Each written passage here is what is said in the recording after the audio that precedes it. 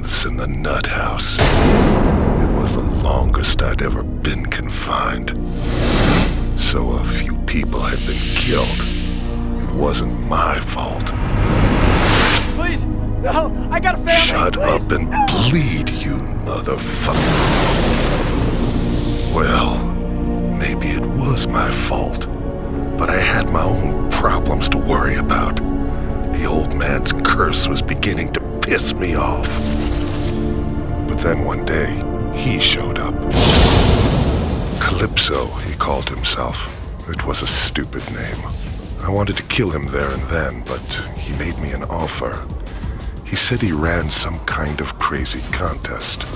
If I won his game, he promised to show me how to bring an end to the curse. No more headaches. As much as I had those old urges of mine, I kept them to myself for the moment. I figured I'd play along with his little game.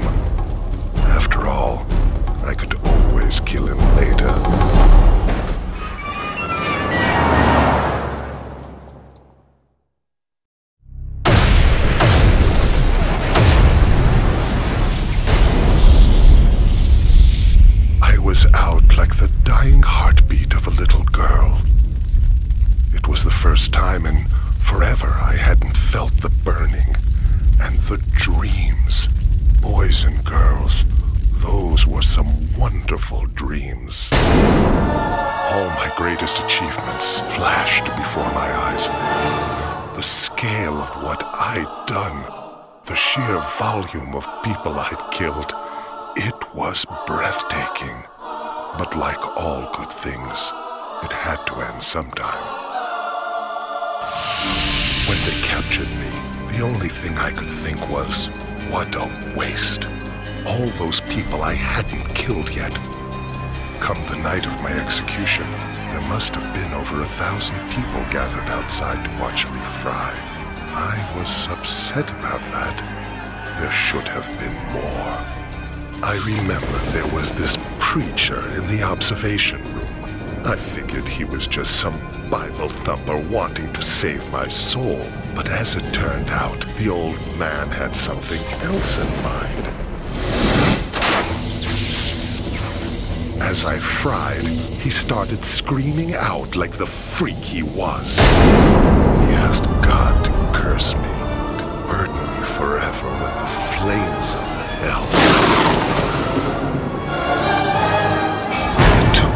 less than a minute to kill three police officers and get my mask back on. I never used to believe in curses, but it's been three months since that night, and the pain gets worse every day. So let me tell you something, boys and girls. I sure as hell believe in curses now.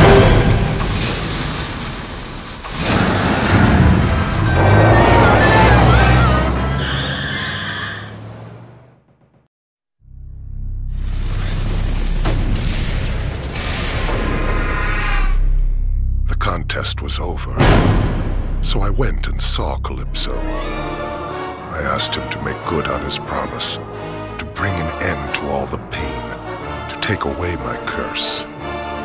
He offered me a vial. He said inside it held the blood of the man who'd cursed me on the night of my execution. He told me if I drank it, my curse would be over. But he also said if I ever returned to my killing ways, the antidote would wear off, and the curse would come back to haunt me. I had to decide. It took me all of ten seconds. Let's face it, boys and girls. A man has to have his priorities.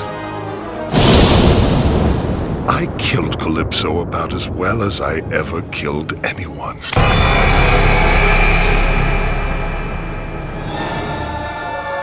that I'm free, I'm going to be the greatest of all time.